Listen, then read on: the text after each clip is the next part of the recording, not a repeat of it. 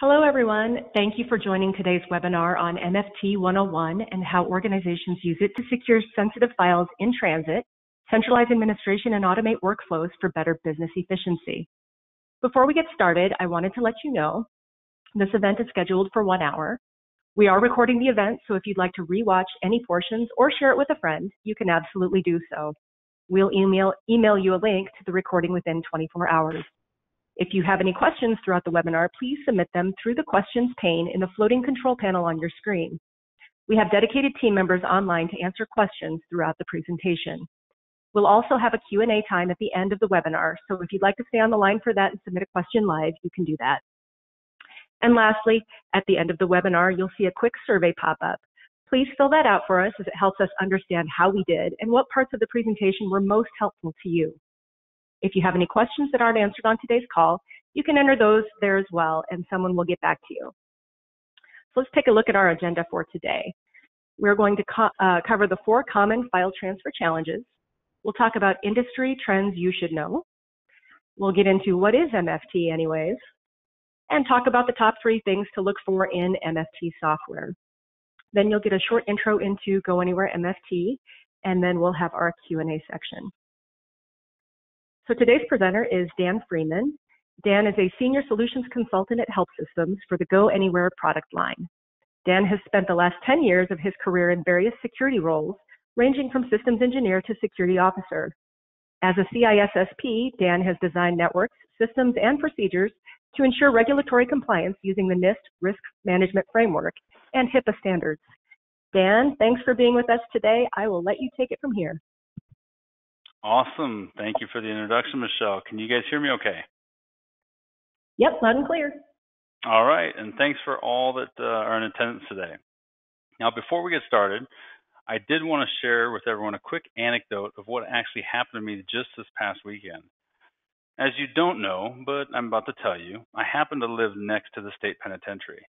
Now, this past Saturday, I was walking my dog along the fence line and actually became witness to a prison break.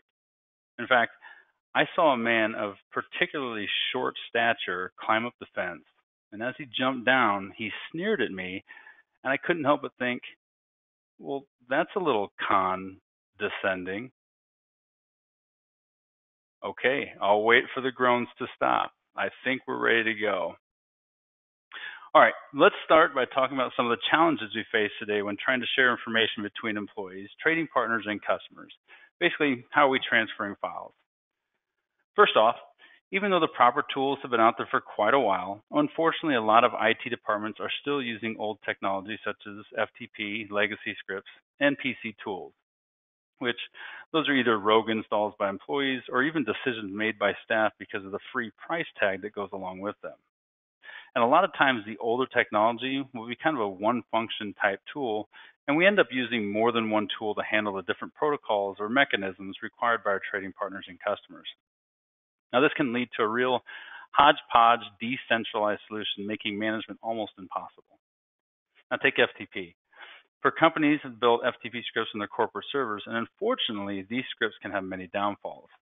For instance, a lot of times these scripts can be a bit complicated for the average user, and thus need to be written by programmers or someone spending an awful lot of time on YouTube videos. Now, should it be the former, that can be an expensive resource.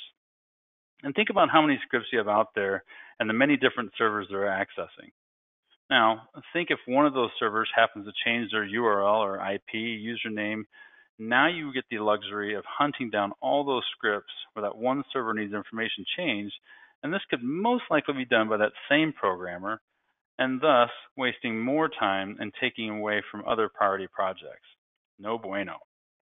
Now, another problem with scripts is that your passwords potentially are stored in the clear and can make them susceptible to attack. Now, on the flip side of these complex scripts, most of the time they can be simplistic in nature and don't have advanced features like auto retry, error alerting, as well as much needed auditing capabilities.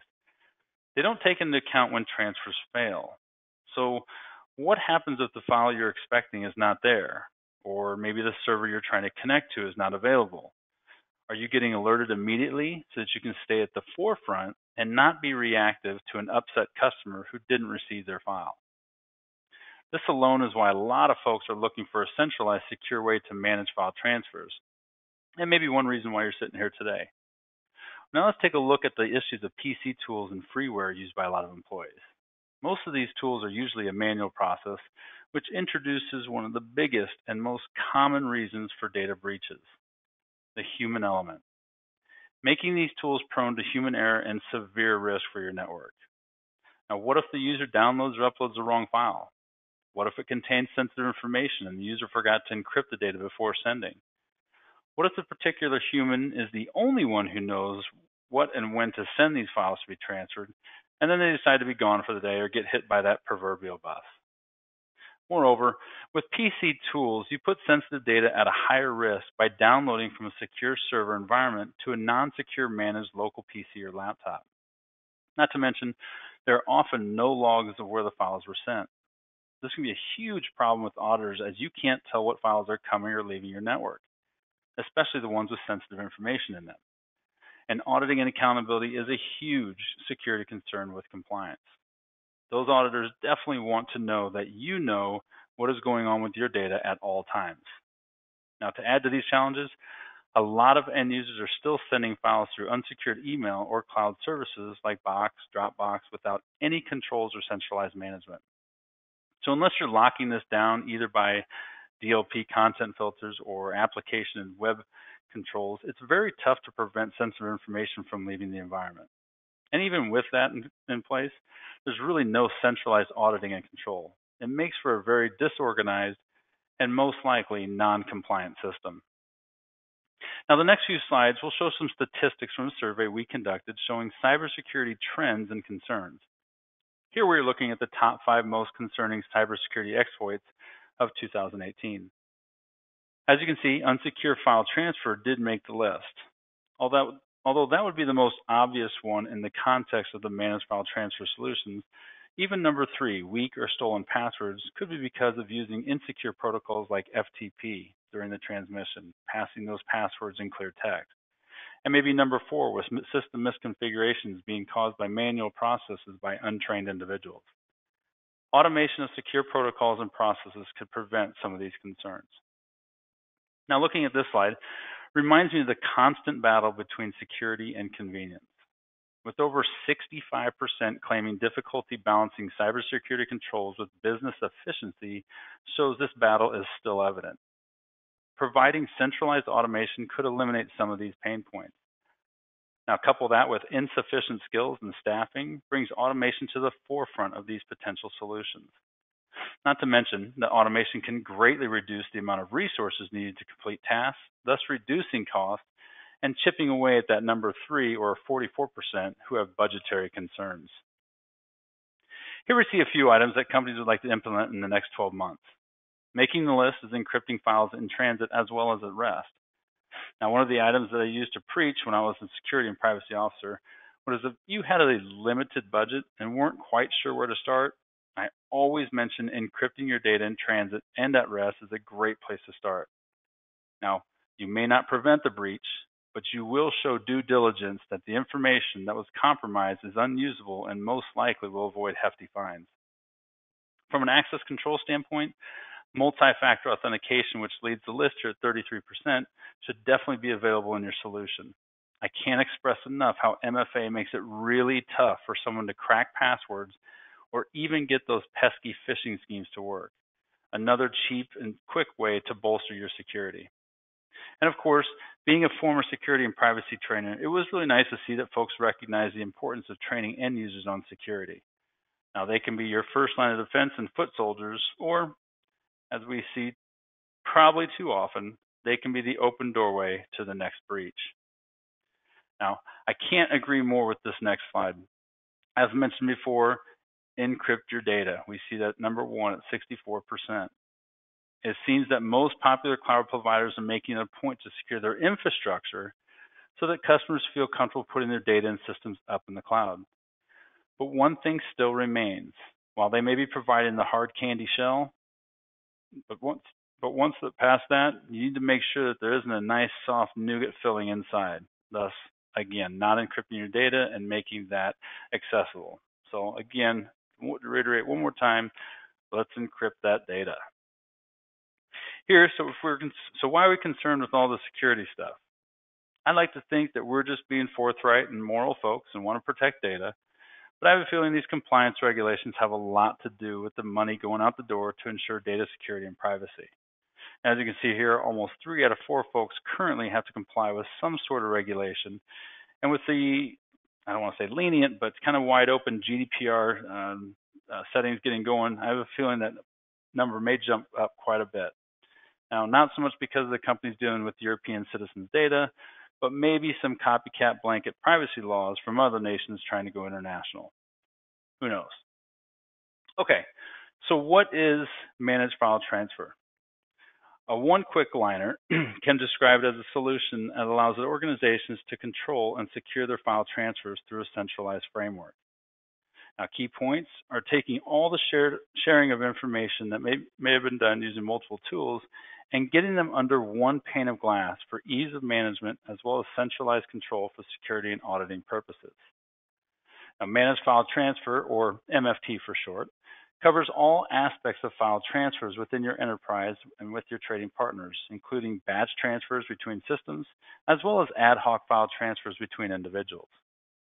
MFT provides the automation, aka removing the error-prone hum error-prone human element as much as possible that you need for your file transfers, protecting that data with strong NIST-approved encryption, while providing the audit trails you need for compliance with strict regulations. So what to look for in an MFT solution? Well, although there are a lot of attributes and capabilities we could evaluate here, today we'll look at three that we think are pretty important. Number one, being a sysadmin for about 15 years before coming to Help Systems, I can tell you, I can't tell you how many times I was part of the shelfware procurement process. It was either a product that one of the managers did some research on and decided it would solve all their issues without consulting those who would be managing the software, of course, or maybe a knee jerk reaction to a compliance regulation. In any case, whatever product you buy needs to be easy to use. Ease of use will facilitate ease of adoption, not only for your end users, but also for the admins responsible for maintaining it. If your end users don't like the solution, they tend not to feel vested and go back to their old habits, and you have successfully not solved your issues. This puts you back right where you started. Now, the ease of use can also go to the sysadmin side as well making it easy to set up, manage, and create workflow automation to match what your business needs are without having to hire consultants from the vendor, slowing things down, using up resources, and frustrating those employees. The solution must make it easy to set up new transfers in a matter of minutes, not hours or days. Not only your batch system to system transfers, but also those ad hoc transfers that are pretty popular with those one off situations allowing your sysadmins to pre-configure connection settings so that your users don't have to know what's going on beneath the covers, but can still kick off jobs that need to be processed is a valuable, easy-to-use asset. Although, also make sure that your solution is able to interact with other servers, systems, applications, and APIs so that it can expand its capability to automate and centralize your entire business processes end to end. This will keep management centralized and auditing and all processes funneling through your solution. Now, security and compliance, kind of a no-brainer nowadays for any application that's part of a system on your network. The product must be able to support all the latest and popular protocols, cipher suites, key exchange algorithms so that you can accommodate all your trading partners and customers first, but also be able to show your auditors that the software is able to be configured so it's compliant with whatever regulation you did here to. The product must have centralized controls.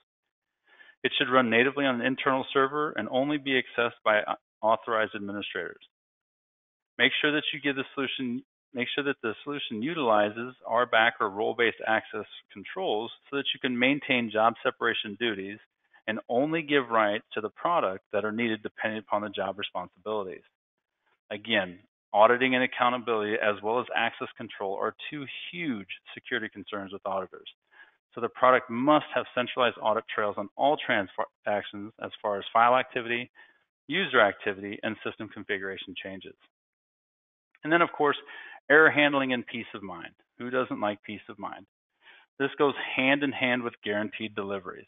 This is very important when dealing with your customers to make sure that your solution is doing it all is doing all it can from a connection standpoint to make sure the files are delivered, from built-in auto retries to getting immediate alerts if they fail, so that the appropriate individuals can jump on these situations and alleviate any non-favorable results, especially in the case of maintaining SLAs with some customers. Okay, now let's take a look here, annotation tool.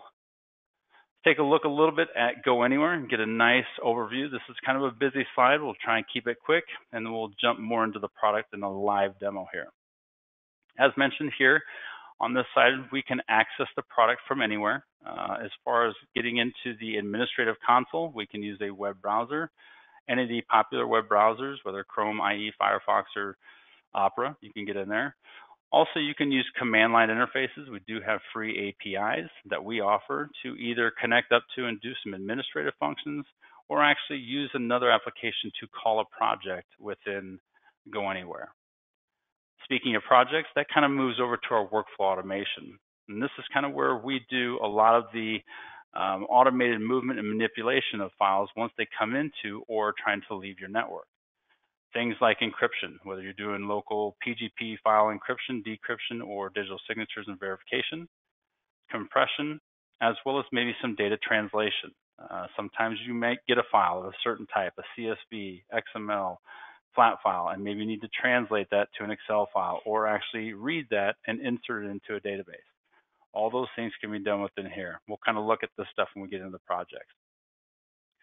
As far as the projects are concerned, uh, what's very important is going to be these samples uh, of what we call resources. Now, resources are going to be ways that we connect up to other servers and services so that we can expand the capabilities of GoAnywhere. Um, simple things like maybe we want to connect up to different network shares to actually monitor a folder location to grab files and then SFTP them out to a partner. Or vice versa, it could be a destination directory for files to, when they're coming in.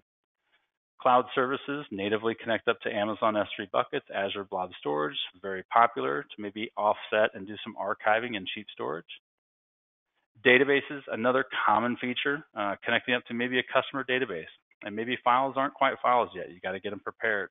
So we do a select statement, pull out information we want, write it to CSV, Excel, flat file, whatever the case may be, and then we PGP encrypt it and send it out the door and vice versa. Maybe you get files from folks and you need to read that CSV file and then do some insert or updating into a customer database.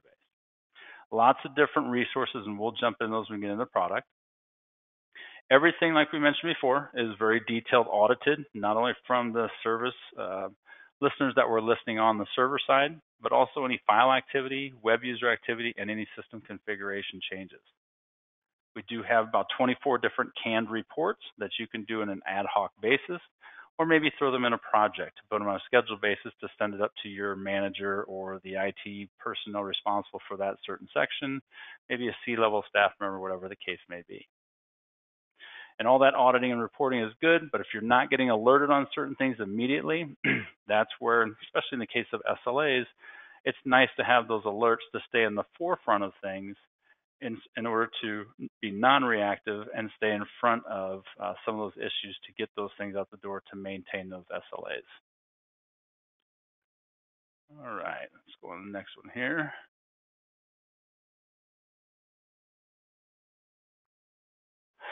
Okay, a couple more key points here. Uh, the multi-platform GoAnywhere is OS agnostic. Now, being a Java-based application, we don't get our hooks in many the, or, or many of the dependencies upon the OS, Thus, we're able to install on virtually any platform. Windows, Linux, uh, Novell, IBM i, AIX, pretty much any platform we can install GoAnywhere on. The batch and ad hoc, now we're able to do those system-to-system batch transfers as well as easily set up those ad hoc transfers via an intuitive web interface, which we'll kind of demo here in a second. As mentioned, we have detailed auditing across all service listeners and protocols, file transfers, user activity, as well as system config changes. Now, one of the big reasons I really like and I think separates ourselves from MFT Solutions is our interface, our UI. It's very intuitive and easy to use, especially when it comes to the workflow automation projects. You don't have to be a programmer to build out intuitive, even complex business processes to replace those old scripts. Uh, inbound services, we do have the ability to listen on many different protocols like FTP, FTPS, SFTP, SCP, AS2, as well as an HTTPS web interface leveraging four different modules. And we'll go over those four modules in a little bit. GoAnywhere can also fulfill the encryption in transit and at rest. And we talked about kind of one of those big concerns. We want to make sure that our data is encrypted at all times. With our secure protocols and industry standard encryption algorithms and cipher suites, we can securely transfer files. And then with our encrypted folders tool, we can target those folders for AES 256-bit encryption at rest. Now, helping us along with that, we have a we have a built-in database key management system. Now, this is to maintain encryption via those SSL TLS certificates, SSH keys, as well as PGP keys. All this with the ability to create straight within the product or import existing keys for use. And also on the admin controls, kind of we talked about maintaining that least privilege and job separation of duties for your administrative users. Okay, so let's go ahead and jump into the live demo. Let's bounce out of here, get into here. This here, like we mentioned, this is going to be the web interface uh, that's accessible to the administrative console. erase that little arrow there. this instance happened to be on a Linux um, cluster. You'll notice we have the IP address or host name uh, by default port 8000. Those things are configurable to you. Uh, again, I'm going to be using Chrome throughout this demo, but you can use IE, Firefox, or whatever browser that you want to use. So I'm going to go ahead and log in here with my admin credentials. So every single administrator, when you log in, the first thing you're going to notice is you have a dashboard. Uh, these are pretty configurable, whether it's from the actual layout, from a one, couple flavors of two, or a three-pane window. I'm using a three-pane, to the actual gadgets that you put on your dashboard. Uh, this can be one of 25 different gadgets uh, that you can select from, whether it's disk usage, recently blacklisted IP address, quick links, whatever the case may be. You can actually modify each individual gadget as well to be as granular or as broad as you want. And you can kind of configure these by moving them around to give it that layout that you want. Point being is, this is your one quick snapshot view of what's going on in the system at any given time. Now, speaking of admins, that's how we're logged in now. And go into the admin user roles. This is going to be the 16 different RBAC roles that we talked about to maintain that job separation of duty and least privilege. So we're not just throwing blanket admins like our product admin, or in the case of Windows, say a domain administrator, we are being very granular with what the rights that that person needs to have. Okay, one of the things that we talked about on that first busy slide uh, is we talked about resources. And resources being how do we connect up to or how can we leverage other servers and services? Now this expands, I guess, the the tentacles of GoAnywhere to be able to to leverage those things to move files and do file manipulation all within this centralized environment. As you can see here, there's a lot of different resources. We definitely won't go through them all. Uh, again, a couple of popular ones that people like, the Amazon S3 buckets, blob storage. Um, here, we'll look at the database servers. We'll kind of take a peek at this one here. It's a very popular uh, resource to connect up to. So when you're going through here, um, you can just put in, we'll load the uh, most popular JDBC 2.0 drivers. So you'll select the driver that is uh, what you're connecting up to, in this case an AS400. The JDBC URL, maybe not the most intuitive thing in the world, so you can always use our wizard or get it from your DBA. Uh, but in this case, for the iSeries, we'll just put in the actual IP address, hit generate URL, and there it is. You hit select there, and it'll populate that in there and then you'll get a username password on whatever you want this resource to have rights to. So if you want to use this in a project for writing, updating, inserting, you'll make sure that that user has that type of access. In any case, every single resource has a test button. Now this test button is really nice. It's kind of the sanity check to make sure that everything you put in worked. It's going to do two things. It's going to check for network connectivity and any applicable uh, credentials that have been provided. So getting resource test successful is obviously a good sign. So now we've got that resource set up to use further down in our project, and we'll see how that works in a second. Again, a lot of other resources. Network share is very popular. pointing to different locations within your network uh, to either pick up or drop off files or do file monitoring. Um, another one that we'll look at real quick, and the last one we'll look at is SSH servers, in particular our SFTP server. Uh, first tab is pretty straightforward. You're going to put an IP address or FQDN of where you're connecting up to, the port, username and password, or SSH key, whichever they're requiring for authentication, or maybe both. Uh, one key tab I'd like to look at that's not required, uh, but this gets back to we talked about those FTP scripts not having the auto retries and maybe things like that. This is where you can configure those connection retry attempts. Uh, so this this kind of eliminates those smaller network hiccups, uh, router reboots, maybe the PC went offline for a little bit. This allows you to have some auto retries to reconnect. So one, the job actually is successful and you have reliable delivery. And two, in some cases, if you get through half a file and your retry attempt is successful, you won't have to retransmit the entire file. You can just pick up where you left off. The algorithms tab here, this is again talking about the cipher suites, key exchange algorithms, all those things that we can choose as what we want to uh, have the server support that we're connecting up to, to be as secure or less secure, I guess, as you want all these things kind of moving over to the encryption kind of moves us to that KMS that we talked about. And just real quick to look at this, this is where you can manage your SS or your SSL certificates, your SSH keys, and PGP keys. Again, you can create them straight from here. We won't go through that process, but you can kind of go through, select your signature algorithm, size, all that stuff. Once you do, in the case of a certificate, you can also, now that the self-signed cert, you can generate the CSR straight from here take that up to Thawte, GoDaddy, whoever you want, pay the bill, they'll give you a CA reply, and you can import that here, and now you have an actually signed trusted certificate ready to put on your HTTPS listener and good to go. Same thing with your PGP keys and SSH keys. Generate the key pairs, and whether you're exporting your public keys to folks or you're importing public keys, uh, depending upon if you're on the encryption or decryption side of things. Okay, so back to the resources real quick, just a recap. This is our one-time definition. What's key about that is we talked about those FTP scripts, and a lot of times you got stuff all over the place, and a server IP address changes. It can be an administrative nightmare hunting down where that actual resource was used. Here, you just go to where you defined it here, and you change it. If that if that SFTP server was used in 100 different projects, you don't have to worry about it. It's going to go ahead and trickle on down. Okay, so let's jump into projects. Uh, first off, this folder section here with the projects, uh, think of this from, I'm going to go from a Windows standpoint. That's what I'm most familiar with. Think of this as like as a file explorer. Uh, you can create your folder structure. I would assume most of it's going to be for organizational purposes, but you can also do it from a permission perspective. Keep people in and out or give them specific rights and what they can do within the projects that are in those folders. All right, let's jump down to, and we're going to start with a simple uh, project, just so we can get uh, a little familiar with the project designer window. I'm going to go ahead and minimize these two spots here to give me a little bit more real estate.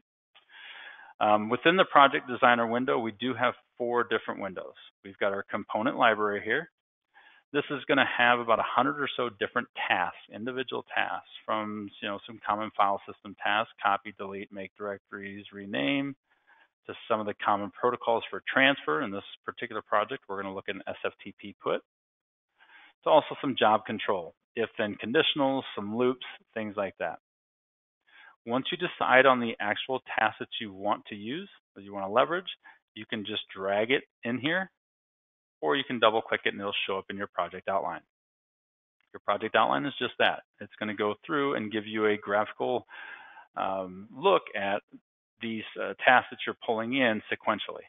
So it's going to go and outline this business process that you're trying to achieve and put it in sequential order of these tasks. We'll kind of go through these project module and tasks in a second. This window over here is your attribute window. Go ahead and minimize that. this is where, again, this is the SFTP put. Now we need to define a few things. Well, what source file am I picking up? Or maybe a variable. Where is it actually going to land? So this is just defining a few of the things that you're pulling in as far as the component library actions into your project outline. And then you have your variable section. You'll always have system variables available to you. Uh, some common ones like your system job log uh, is, is, very common to attach to maybe an email that uh, if the project failed, you can send that to the individual so they can see what happened, or even if the project was successful, you can do things like that. Okay, let's go ahead. I'm going to minimize this one here, and let's take a look at this project. Again, this one's going to be a simple connecting up to an SFTP server, doing a put to a certain directory, then we're going to make a copy or archive that file for our purposes in our processed or archive folder. And then we're going to delete the original file. So make sure that we don't process that again. First thing you're going to notice is we have a project, a module, and a task uh, sections here. The project is, for the most part, your placeholder. Um, so however you're kicking off the project, which we'll talk about in a second, whether it's through a scheduler, monitor trigger, or a CL command, uh, or an API call, whatever the case may be, the project is going to be that placeholder to do your business function, whatever you have in your modules and tasks. There are a couple global settings that you can set from the queue, job name, and maybe thread save. Now, within each project, you can have multiple modules, and modules are going to be a grouping of a certain type of function or certain actions within that business function. within those tasks, we'll kind of go through this. You can have as many multiple tasks within a project. So for this one, let's start off here. We're going to connect up to an SFTP server. This drop-down list is going to be populated by the resources that we defined just a little bit ago. So after you define the resources, then they're going to show up here. So we're going to connect up to that SFTP server. We're going to grab this individual file, this vm linas.csv, and we're going to go ahead and move it to this destination file, which is in the incoming folder on that SFTP server, but we're doing some name manipulation on the fly, or name renaming. Instead of this name now, we're going to change it to orders and then append it with the current date. Now this variable function is coming from, you'll notice if I click on these fields, we get this little variable function wizard. So here, this one's the current date, and you'll notice when I highlight it, we have this nice description. One thing I also would like to say, the documentation within this product is awesome. Uh, help menus in a lot of software applications, I understand. I was a sysadmin for a long time. They're usually not helpful. This is actually an anomaly. This one is actually very, very helpful. So I highly encourage not only using the expression wizard, but the application help, which is this question mark over here. So it'll tell you what it's looking for and actually give you an example of what the actual output would be. So we're doing a little name changing on the fly. So now from an output variable standpoint, we can say, hey, you know what? I want to keep track of the process source files variable or the original file because that's what I'm going to archive and that's what I'm going to delete. And so we'll notice, let's highlight that. We'll see that source file over there. But just to show you kind of how that gets auto-created, and this is kind of arbitrary, let's just call this processed file. So now we go to the archive task. You'll notice that changed to process file. So in the archive task, which is really a copy task, what am I copying? Well, the source file is no longer going to be source file because we just changed it. It's going to be process file, and you can just drag and drop those right in there. I'm going to send it to this root directory, and I'm going to call it archivetest.csv. And then in my delete statement, and again, the input file variable, we're no longer going to be using source file, we're going to be using process file. Now I'm going to go back to that original file that I grabbed and go ahead and delete that. So pretty simple steps here. The one thing from an error correction or error trapping capabilities that we didn't cover, you'll notice at every level, there's an on error section. Now by default, if you don't define it, it will just abort the project right where it errors out. It'll be in the log file. You can look at it and go through the log.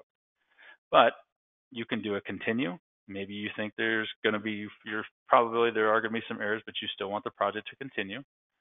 You can do a set var and maybe set a certain variable to a certain value and then maybe do some conditional statements to do some further processing. Or in this case, we're going to do a call module. So in this case, at the module level, that means anything that happens in these three tasks here, if anything goes wrong, I'm going to call this errors module, which in this case is just sending an email saying project, system project name, which is one of our system variables, failed. Error message is the system job error. And then I'm going to attach the system job log, which again, we can just do that drag and drop right up there. Now, you can also do error modules at the task level. If you set one at the task level, it will supersede what's at the module level. So in this case, if this connect to SFTP server fails, I want to know that specifically. So I'm going to call SFTP error, and this is doing essentially the same thing. It's sending an email. I'm just giving a little bit more specific message. Your SFTP task failed in project, blah, blah, blah. So pretty straightforward project. Uh, I'm just going to connect up to, send a file, make a copy, delete the original. And if I get any errors, I want to know about it. All right, let's go ahead and go to another project quick. We'll kind of kick it up a little bit here and show you, add a couple different features. Uh, one thing you're going to notice is we've got a couple variables that are defined up here. These are coming from our project and our variable. So we're pulling those in. Those can be either user defined or as we call them here, project variables. These are specific to the project. Now you can give them initial values if you want, or if this is something that you know, uh, maybe an application is going to be calling this project and you want to pass in those as parameters. And we'll kind of show you how that works as well. But for this case, we'll just kind of go through this project to see how this works, and then we'll run it, simulating it, going it, uh, to where we're passing in parameters. Records found, this is saying, yep, true. Couple other things that we need to look at. We've got to create and a delete job workspace. So a lot of times when you do projects, files are going to move, files are going to be manipulated, file names are going to change. Maybe there's uh, things that we want to do and have it in a temporary workspace so that when we get done, we can delete that job workspace to get rid of all those things that were temporarily done in the middle of the project. That's kind of what those two tasks are for. In this task, we are going to connect up to a SQL server. This is our production 400. Again, these are going to be uh, defined by our resources that we previously defined. We're going to do a SQL query, grabbing looks like some employee information, and we're going to leverage a where statement where the wages section of the SQL query is greater than or equal to that minimum salary project variable that we defined. Now we pre-populated 2500 so I can run this natively to see the actual log file. Another thing that we need to know is everything that comes out of this select statement is going to be put in the my data output variable or row set. Another thing in the advanced, we're going to say when no data found, we're going to do a set var records found equals false, which is just another user defined or project variable that we set to true. So just saying if nothing comes out of this select statement, let's change that to false because the very next statement, we've got an if conditional saying, hey, if records found equals true, great. Let's go ahead and do these next four steps. If it doesn't, boom, let's kick out of this project and we're done. There's nothing to process. We'll assume that there are something that comes out of um, the $25,000 minimum salary. You'll notice the create Excel file, and that's going to be just the uh, data translation write Excel file task. So we drag that in. What's the input to that? It's going to be the output to that query we did earlier, so that my data. And that'll get automatically created over here. So we can just drag that in there. And we're going to put it in that temporary workspace, that system job workspace, which is equivalent to the create job workspace, and call it employees.xls. We're going to dress it up a little bit, give it a sheet name, include the column headers, yada, yada, yada. Next step is going to be the PGP encrypt step.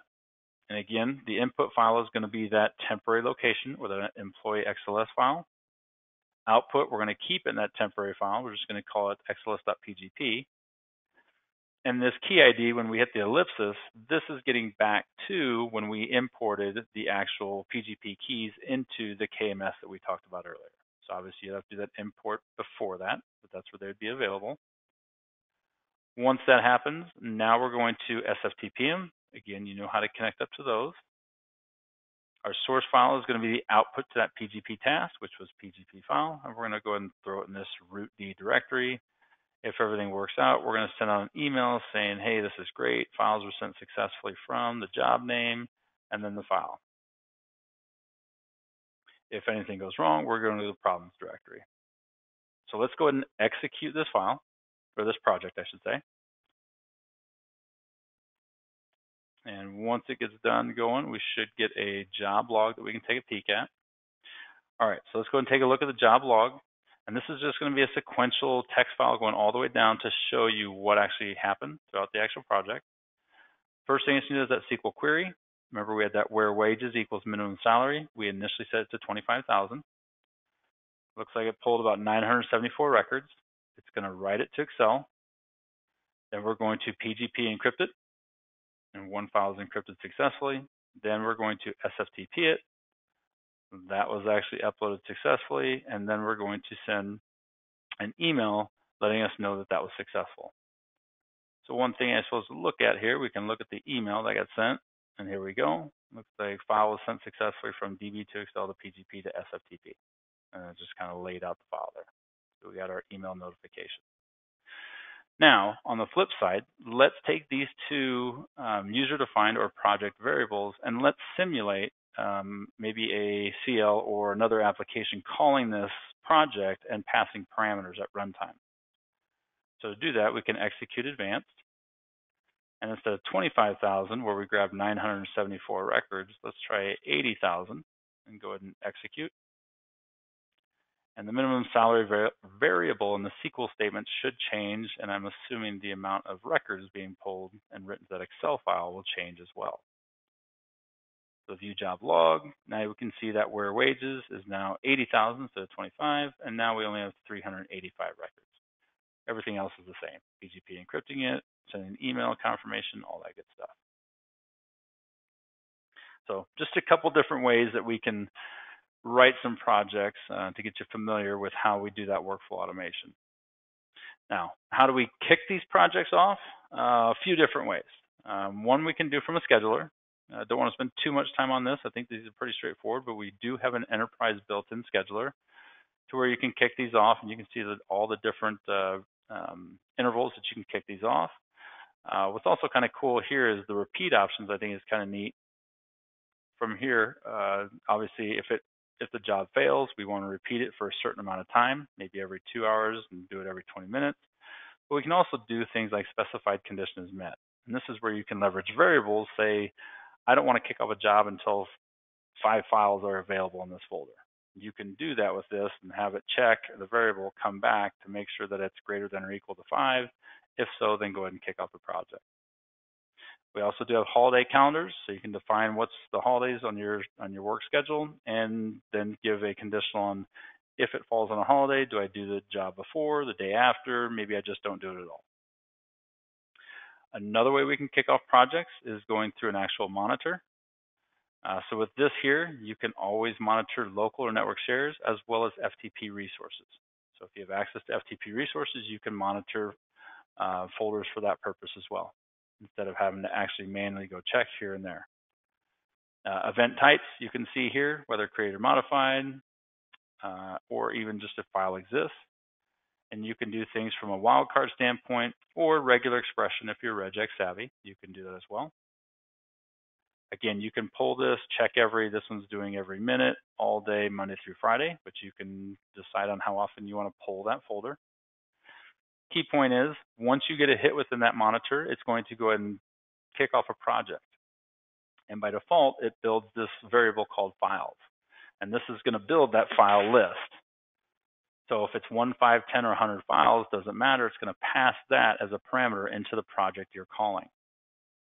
So let's take an example, go back to that project, that simple SFTP put, and let's say this project is one that's actually getting called via that monitor.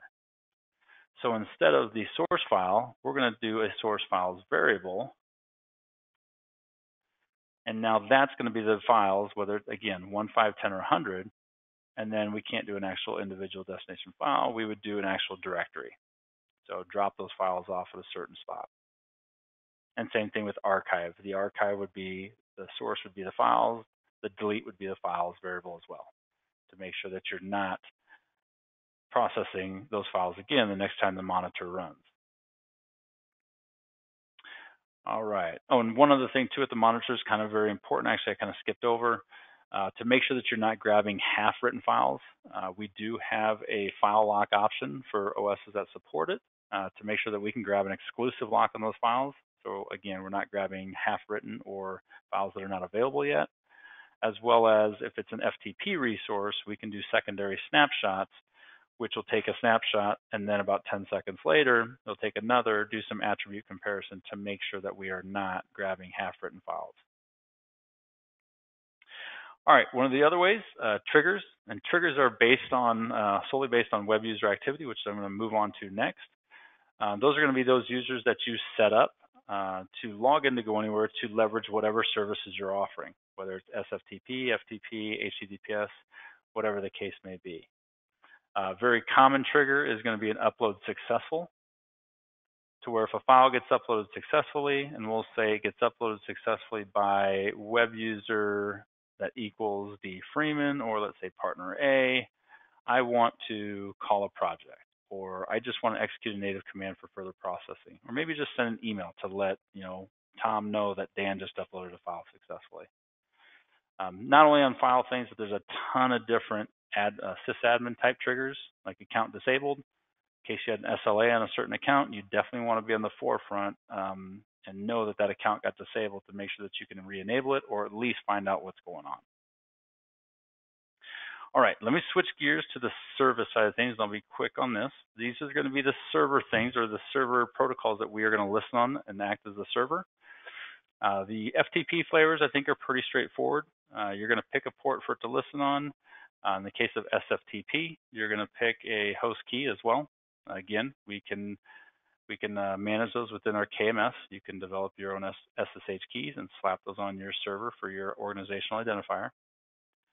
And then HTTPS, same thing. Uh, pick a port and then put on a certificate. This kind of moves us over to our web users. I realize we're getting a little short on time here. Uh, web users, again, those are going to be those users you're defining to connect up to GoAnywhere, whatever services you're offering.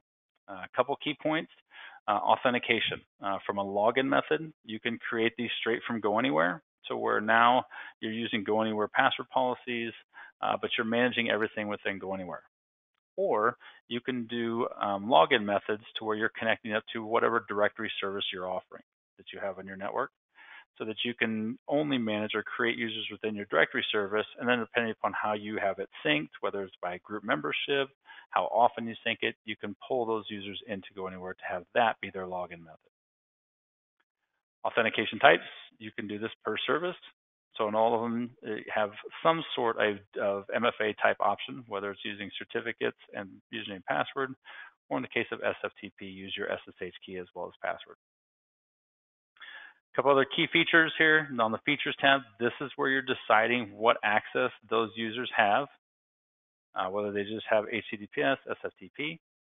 And then the vertical column, all these features, which we'll briefly cover here, are going to be in the web console or the HTTPS web client.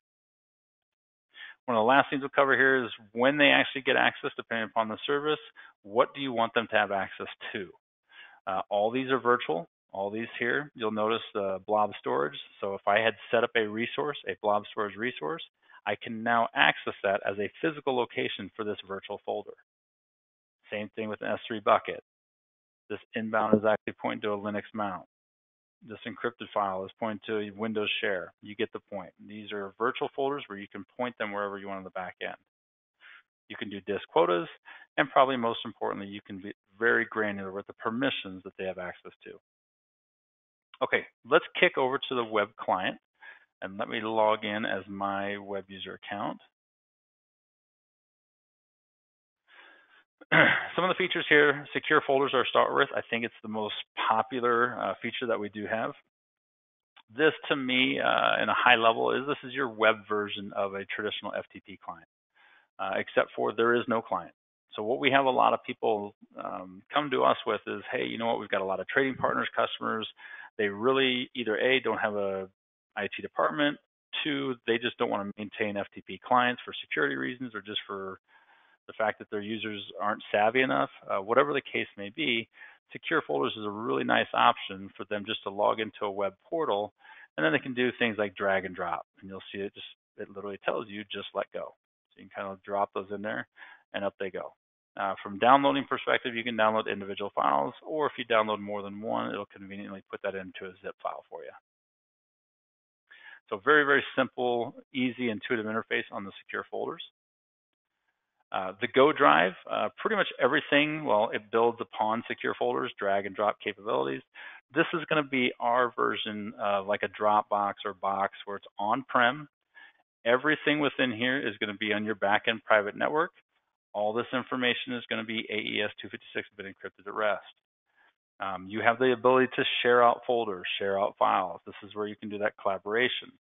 You can maintain revision history. This is completely on the back end, um, how, how many versions you want to have. You can restore to certain revisions, or versions, I should say. Uh, trash bin, things like that. You can recover items. You can make it, hey, the trash bin is going to be available for 30 days to recover. There's also a nice uh, client piece. Uh, when you do install the client, then it's going to map a local drive, what looks to be a local drive. So if you see this employee's PDF file, if I go back here, this is bidirectional syncing. So we'll grab this employee's PDF file that looks like it's a local drive. We can delete it here, say yes, and let's go ahead and refresh here. And you see that it went bye-bye and it should be in our little trash bin. Yep, our employee's PDF. You can always restore it if you want.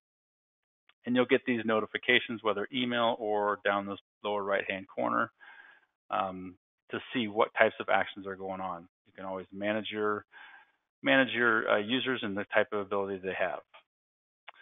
Um, secure forms. Uh, one thing quick to show, this is a web-based way, a secure web-based way to share out things either with your web users, whether via the SOAP and REST protocols for custom applications, or even out to the public. Uh, so simple things, I'll kind of show you one here. Um, point is, every single piece um, that you build out, and this one I'm just asking for named issue operating system file upload, will be tied a variable so that when the user hits submit, it actually will be passed back to a project and that project will be able to do whatever it is that you want to do. So in this case, this one simply is going to say, I'm going to submit this. If it's successful, I'm going to get a message back saying, thanks, your submission was delivered successfully.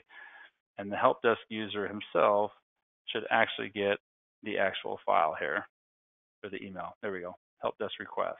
Attach the attachment and then name a requester, what operating system, and the description of issue, which is a really terrible description there. Last but not least, on the uh, web um, features, we do have secure mail. Uh, secure mail uh, also does have not just this web interface, but we also do have an Outlook plugin, which makes things very, very convenient as Outlook uh, seems to be the main medium for mail delivery, unless, I don't want to say unfortunately, you're on Lotus Notes. Um, in any case, uh, this provides centralized management of, of sensitive information. Uh, all email uh, attachments are stored on a backend packages directory. Uh, so when you send a secure mail, it's going to strip everything off, replace it with a URL that's going to have a unique 36 um, byte identifier, and that's all that's going to be sent to the user.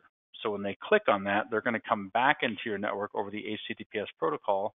And depending upon your protection method, whether you want them to have a password to get back in or actually register as a user, that's how they get back into the email to pull it down. So to think of that going into a packages directory that is going to be AES 256-bit encrypted, now you have centralized management of all your secure information or all your email information. There's only one copy of it. So if you send it out to 100 people, it's not sending 100 copies. You're not overloading your Exchange server, and file size does not matter anymore. You're not going to get that 20, 30 meg limit that's usually about the default.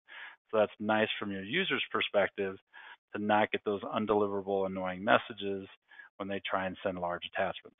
Or worse yet, from an Exchange administrator standpoint, when somebody accidentally sends a 30 meg attachment to the all users group, which is about a thousand people, and your Exchange administrator is pulling his hair out. So some of the advantages of using uh, uh, secure mail. Now, all these things that we just looked at, uh, so I'm running short here. All these things that we looked at, we definitely are auditing does it don't save. So let's kind of go through the uh, HTTPS log. See 1252, so just a couple minutes ago, you see that D. Freeman logged in. Uh, you can see where he logged in from, all those types of things. What's he doing? What services are, is he using? Uh, looks like he uploaded a file. Well, what did he upload?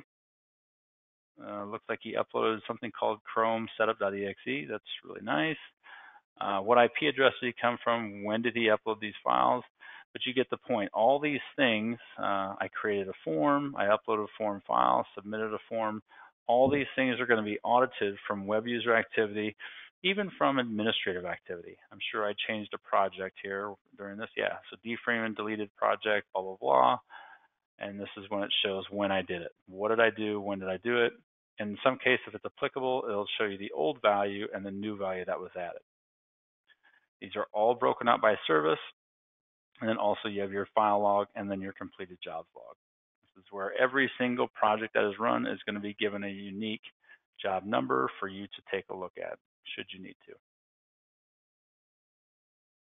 With that and the time, uh, Michelle, I'm going to pass it back to you. Uh, pull up the page here.